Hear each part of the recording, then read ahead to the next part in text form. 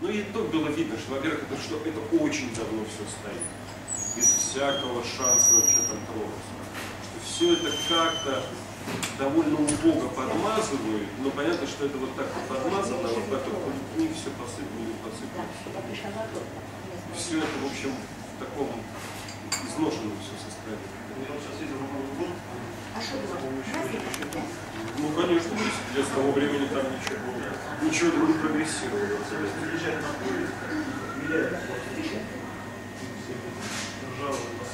Да, да. Мы снимали потом с англичанами «Война в Крыму», вот на первом не было на Крымской войне.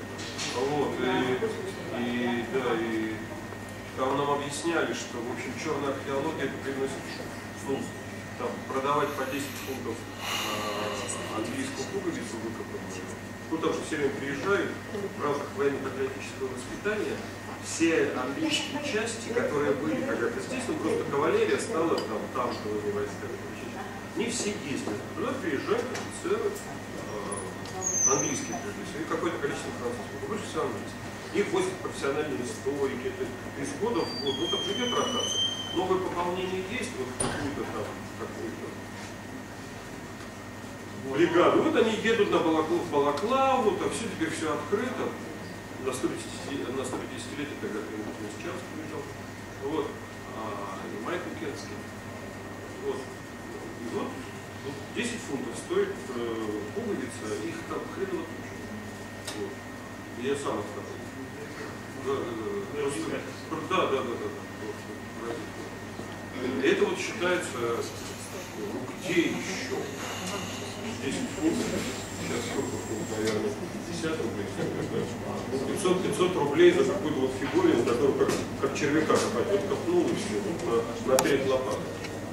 Только надо знать, вот там свалка 9 пехотного полка. Где там дальше там все видно. Там одних этих ну, Сначала мне казалось, что это такое достижение. Я первый раз выкопал бронзовой пивной бутылки, написано Глазго.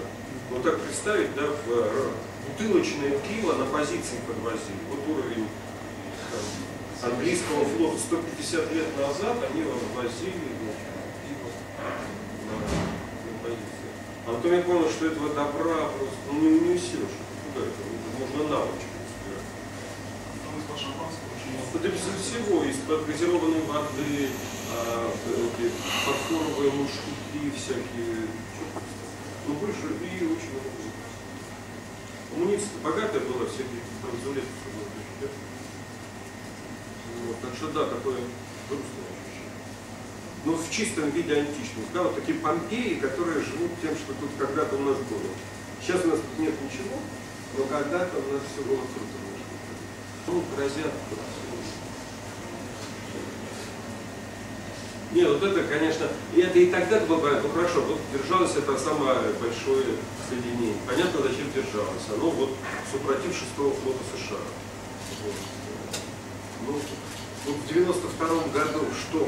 Кто собирался тягаться шестым флотом США? Украина, Россия, вот что, сколько сил. Там надо демобилизовывать было прежде всего всех. Куда то там устраивать. Ну, на момент распада что-то 150 тысяч человек. Вообще-то, ну, это ясно, что это не потянет никакой бюджет любому, любому государству этот флот был бы ну, просто обузой, это наказание было бы. Теперь 150 тысяч ртов корми, содержи все эти устаревшие на тот-то момент бандуры, потому что они дико накопившиеся за десятилетия, ничего не списываются. Там. Это просто видно даже по номенклатуре, что называется. Да? Понятно, что это очень архаичная сотни тральщиков. Да? Ну, где эти мины-то? Где, что они делают. 308.